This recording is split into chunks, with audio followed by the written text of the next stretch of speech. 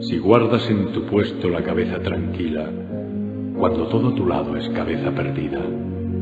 si tienes en ti mismo una fe que te niegan y no desprecias nunca las dudas que ellos tengan, si esperas en tu puesto sin fatiga en la espera, si engañado no engañas, si no buscas más odio que el odio que te tengan, si eres bueno y no finges ser mejor de lo que eres, si al hablar no exageras lo que sabes y quieres, si sueñas y los sueños no te hacen su esclavo, si piensas y rechazas lo que piensas en vano, si tropiezas al triunfar, si llega tu derrota y a los dos impostores los tratas de igual forma, si logras que se sepa la verdad que has hablado a pesar del sofisma del orbe encanallado, si vuelves al comienzo de la obra perdida, aunque esta obra sea la de tu vida,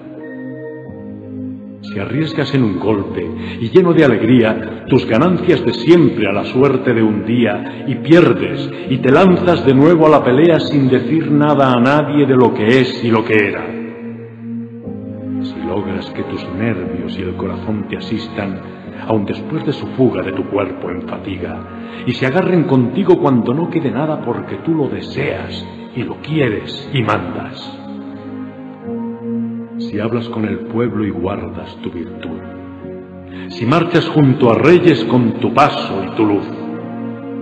si nadie que te hiera llega a hacerte la herida, si todos te reclaman y ni uno te precisa, llenas el minuto inolvidable y cierto de sesenta segundos que te lleven al cielo, todo lo de esta tierra será de tu dominio, y mucho más aún, serás hombre, hijo mío.